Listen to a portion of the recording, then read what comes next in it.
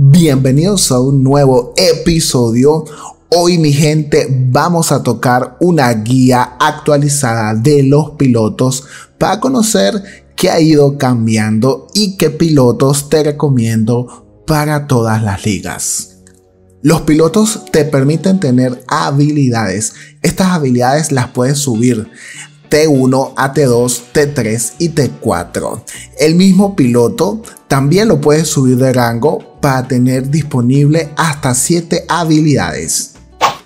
Estas habilidades son ventajas que le puedes ir equipando a tu robot para aumentar la durabilidad, la velocidad, el ataque y muchos aspectos que lo van a volver letal en el campo de batalla. Hoy te voy a dar tres consejos para que manejes muy bien los pilotos. Todo lo relacionado a los pilotos te va a costar AU, así que planifica bien qué habilidades son las que necesitan tu robot y no lo malgastes. Se recomienda subir de nivel solo a los pilotos legendarios. Estos pilotos tienen habilidades únicas que vuelven súper letal a cada robot. Algunos se obtienen gratis en los eventos y en los cofres del mercado negro. Trata de tener suerte para minimizar el gasto de AU. Hace nada se ha actualizado el sistema de habilidades de piloto. Y bueno, déjame contarte que hay habilidades nuevas que van muy bien con ciertos robots, pero no todas valen la pena, aunque pintan muy bien te voy a hablar del caso del Fenrir, que es uno de mis bots favoritos. Yo lo tengo con estas habilidades que estás viendo y la única que decidí añadir fue Guerrero Terco, que me pareció interesante. Pero muchísima gente me ha dicho, pinceladas, colócale por allí la habilidad de tradicionalista y te advierto, no gastes en vano AU. De todas formas, puedes ver qué habilidades hay nuevas en cada piloto simplemente intentando cambiar alguna de estas, te vas a dar cuenta que hay habilidades de velocidad, de durabilidad, de hacer más daño y hasta puntos de defensa. ¿Te has preguntado cómo está el nivel competitivo en Liga Campeón? A continuación te voy a sugerir algunos pilotos que me gustan el piloto del tifón.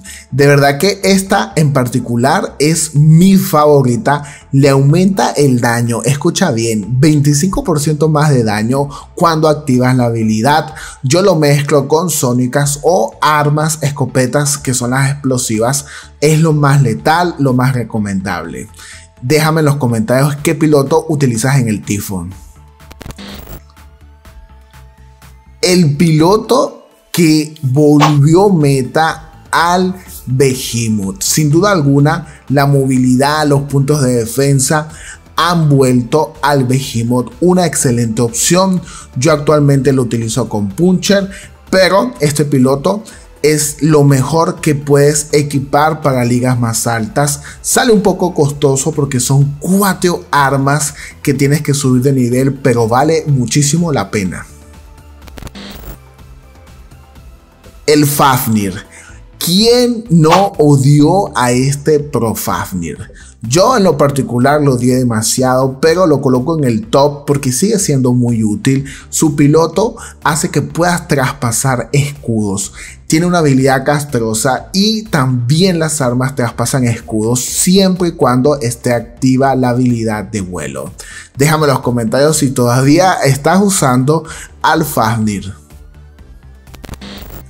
El piloto de Ravana fue meta en su momento, le da un salto más de habilidad. Actualmente lo estoy probando a ver si puede ser counter del nuevo Ravana 2.0 que es el Angler. Ya sabemos por las noticias que Angler no va a estar disponible en el próximo evento supuestamente, pero este robot es totalmente recomendado porque hace un daño descomunal el bendito tanque, el papá de los helados. Hoy en día sigue siendo excelente opción. Hay algunas equipaciones que lo hacen súper más tanque y hay algunas otras equipaciones que lo vuelven muy letal con armas sónicas. Sin duda, Bernadette es la mejor opción que puedes equipar en tu Fenrir en cualquier liga. Déjame en los comentarios cuál es tu piloto favorito para el Fenrir.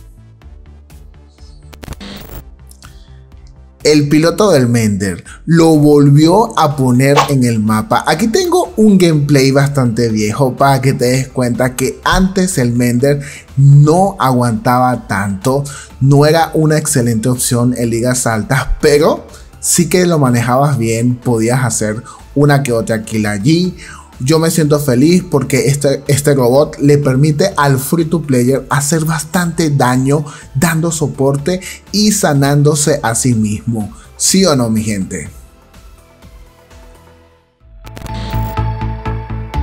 El piloto del Hawk lo protege en contra de los efectos negativos solamente cuando está volando.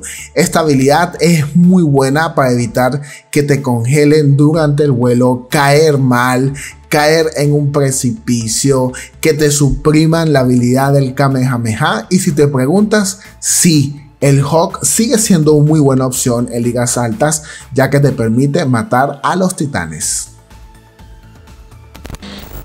Finalmente, vamos a hablar del piloto de mi amigo Revenant. Sin duda, con sónicas, con escopetas explosivas, el Revenant es un asesino por completo.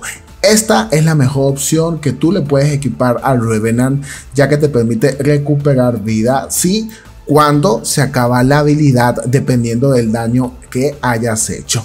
Yo te recomiendo que le coloques las habilidades nuevas que han salido por allí. Yo hice un video al respecto.